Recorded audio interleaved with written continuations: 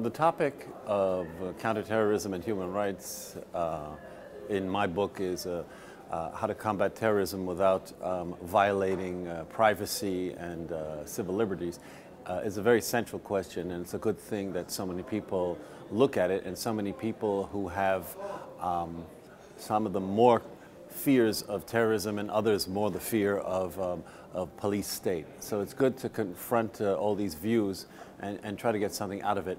So uh, the idea is uh, very central, very topical, very timely, and it's a good thing. What I'm getting out of this is, uh, first of all, context. That's a normal thing for journalists. Uh, you get little sentences, context, and uh, you see points of view which you could not necessarily imagine. You see uh, the Afghans saying something you didn't expect, or the Bahraini saying something you didn't expect. So this widens the horizon of your expectations and it eliminates a lot of stereotypes, or at the very worst, it adds more stereotypes. So it balances everything out. So that's a very positive thing. As a journalist, obviously, we would like to see some sort of uh, piece of news come out of it, like uh, uh, you know, a declaration or uh, I don't know what, some president arrives and says this is great or something spectacular or something historical. Uh, I think we're moving in that direction over here. Um, that's what we like.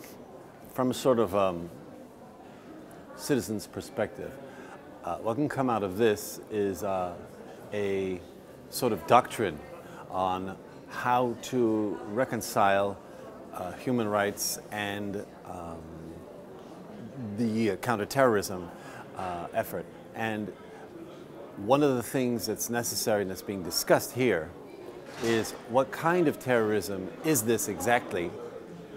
And what do traditional human rights do about it?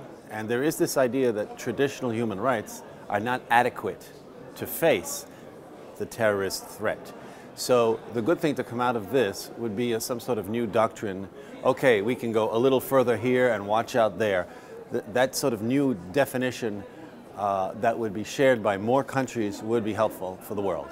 I think uh, it's a very good idea to do this and bring in all these delegations and to allow people uh, like me who sometimes live a little bit too much in the uh, Parisian cocoon uh, to get out and see uh, other worlds, other uh, systems, other groups of people uh, who are rather similar to us, but we don't see that often. So it's a very good thing to, uh, to uh, expand our horizon, and, and that's what has been done very clearly.